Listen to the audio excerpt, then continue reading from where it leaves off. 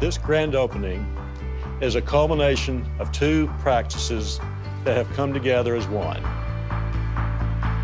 Well, we're here for a ribbon cutting, is that correct?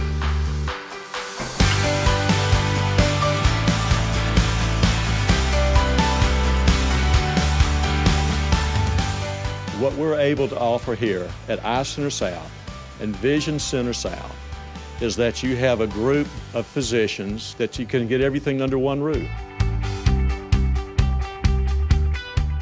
65 years, Denny Vision downtown. Long time. 75 employees, big impact economically. 50,000 people a year at Denny Vision for many, many years. That's tremendous service for our community. Well, the opportunity for our organizations to blend together into one is fabulous.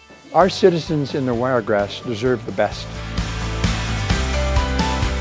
An entrepreneur is someone who has a vision for something and then a desire to create it. And I love that entrepreneur's quote because one, it has vision in it, but two, I happen to know both of these families so well, and they epitomize the spirit of entrepreneurism. I think this is exciting times in Dothan, Alabama.